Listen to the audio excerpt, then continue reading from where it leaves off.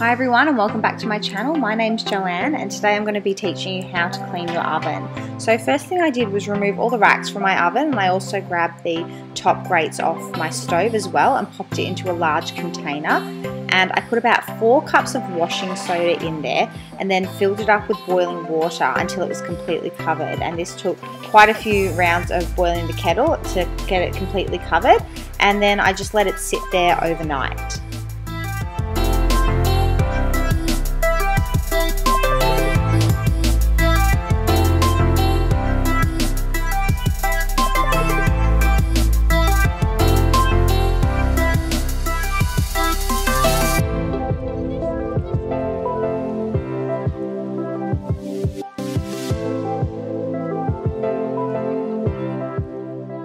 So the first thing I did is clean in that little crevice there. There were a lot of crumbs and other things that had dropped from the oven, so I just made sure to clean that out nicely first. Then I turned the oven on to 100 degrees and that's Celsius and let it preheat. And when it was preheated, I had a tray in the bottom and I filled it up with boiling water. And then I turned off the oven and I let that boiling water sit in there for about 20 minutes. While that was happening, I made up a paste for the oven and that's simply bicarbonate of soda and warm water. So I was just mixing that together until I got a sort of thick spreadable consistency so I didn't want it too thick or too thin so you'll see here that it's just sort of dropping consistency and that's perfect for spreading in the oven. So next I decided to remove the oven door to make it a bit easier. So I just flipped forward the two latches on either side there and uh, it took it was a bit of a struggle to get it out but eventually I sort of wiggled it up and down and managed to get it out. There are lots of tutorials online that you can watch but you can see here that that's right under where the door um, was and there was a lot of dirt there. You can also see the steam in the oven so that's just going to help make it much easier to actually clean the oven and get all the grime off. So I basically went ahead and started spreading the paste on the oven door first. So I scooped a bit on and then decided to spread it around with a pastry brush just to make sure it was covered everywhere and nice and even. And then I went back to um, the main part of the oven and just gave that front bit a little bit of a wipe down, which you can see there was lots of dirt stuck there. So that was right under the oven door. Um, and then I did the exact same thing with spreading the paste all over the inside of the oven.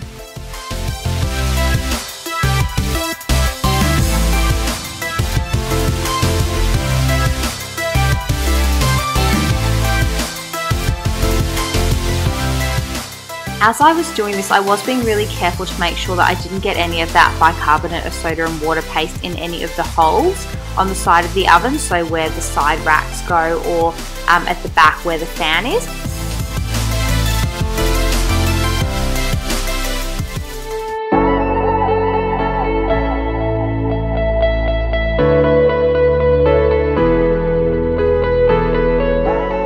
So once it had sat for 20 minutes, I went in with some fine steel wool and I made sure to have a bowl of warm water next to me and a bucket and scraper to get rid of any extra bicarbonate water paste. And I just went in and very carefully um, scrubbed in circular motions just to get rid of all the uh, grease and fat and brown stains that were on there. And you can see the bicarb changing colour, which is all that dirt lifting up that was in the oven. So I just went through and did that. You can also see that I've removed the back panel of the oven door, which most oven doors should be able to do.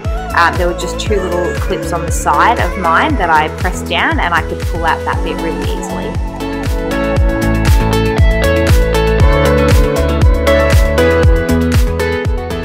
Here I'm just repeating the exact same for the inside of the oven, just being really careful to make sure I don't let any of that bicarb paste fall in those holes because that makes it really hard to, to clean.